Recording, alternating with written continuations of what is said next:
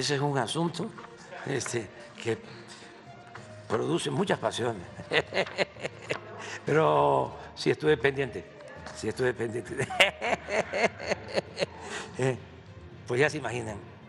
Este, nosotros tenemos eh, una pluralidad en la casa, como todas las familias. También eso debe celebrarse. Jesús desde niño le fue a el América y en la casa no, no, este, somos Puma y este, pero con mucho respeto a Jesús y pensamos como sucede ¿no? en la política que hay males que se quitan con el tiempo. Este, pues no, nos equivocamos. y este dice Cuauhtémoc Blanco, dice, y otra persona que no puedo mencionar, dice, de todas esas familias es el más inteligente, porque como son de la América, ese es el más inteligente. Pero estaba muy contento este, con los resultados.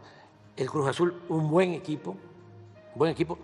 Eh, no me siento, no me siento mal porque nosotros eh, fuimos los que le quitamos el maleficio.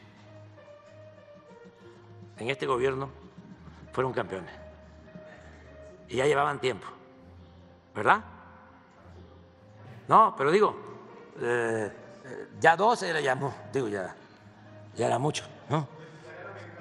¿Eh? A los dos, desde ahora, los dos clubes, los felicito.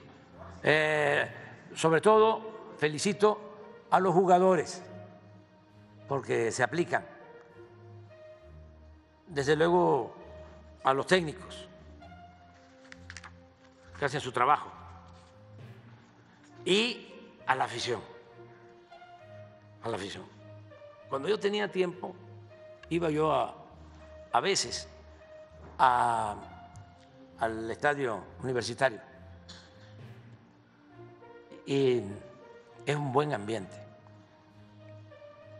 Sobre todo la, escuchar las porras, que hay una eh, muy creativa, pero grosera, este, allí en el estadio universitario.